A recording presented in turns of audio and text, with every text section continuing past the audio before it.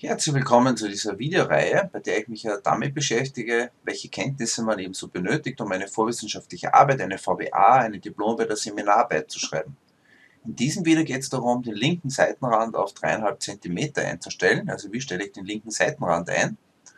Ich gehe dazu hier dann in dem Fall auf Layout, bin bei der Registerkarte Layout also, gehe hier auf Seitenränder und habe hier schon vorgegebene Möglichkeiten. Und wenn ich mir sie genau einstellen möchte, also wie links der Abstand ist, also hier dieser Abstand oder eben dann rechts, gehe ich hier auf benutzerdefinierte Seitenränder und kann hier dann gezielt einstellen, was ich möchte.